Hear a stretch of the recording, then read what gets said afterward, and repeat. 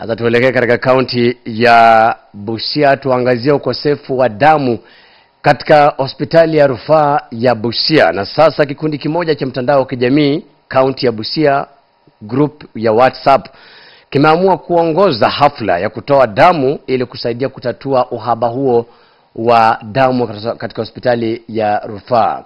Hii ni baada ya wagonjwa wengi kuonekana wakisafirishwa kwa dharura kutoka katika hospitali hiyo kuelekea ama kupelekwa katika hospitali jirani ili kuokoa maisha yao.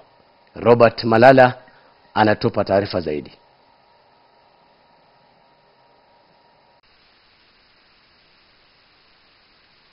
Kulingana na Dan Kubasu ambaye ni mwanzilishi wa kikundi hicho kinachofahamika kama Matayos Reality chenye wanachama 256 wameamua kuchukua hatua hiyo kutokana na visa mbalimbali vya wenyeji kulazimika kusafiri hadi kaunti zingine ili kutafuta damu na hata wengine kupoteza maisha. Sisi kama kikundi tuliamua tutoe damu ama tuambie wananchi waweze kutoa damu kwa sababu ya shida ambazo tunapata kule katika hospitali zetu za Busia. Watu wengi sana wanapoteza maisha kwa sababu ya uh, kukosa damu, wamama wajawazito, wale watoto wadogo kwa sababu ya malaria. So sisi tukaamua katika kikundi kwamba tujitokeze ili tuweze kuambia wananchi waje watoe damu ili kusaidia kuhakikisha kwamba hii maisha ya hawa watoto ama hawa mama ama mwanadamu yoyote hapotezi. Majina naitwa Joshua Ouma Ogutu.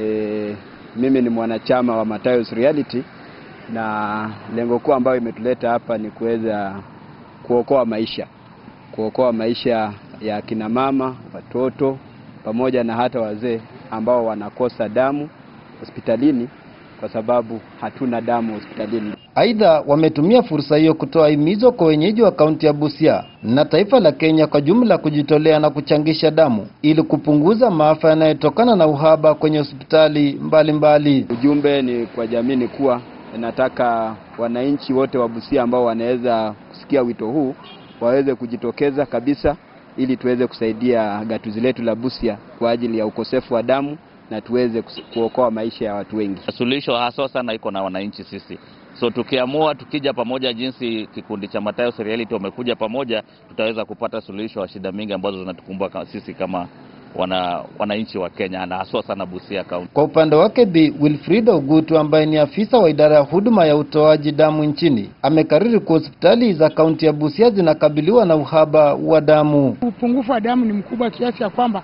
tuko na hitaji kama mifuko mia tano kwa mwezi, lakini mara nyingi unaweza pata tumepata kama mia mbili ama mia mbili hamsini which means hatu meet ile demand ambayo inatakana ya wagonjwa. Hata hivyo, ametaja swala la ukosefu wa uhamasisho kwa wenyeji kuhusiana na umuhimu wa kujitolea na kutoa damu kusalia kuwa changamoto kubwa.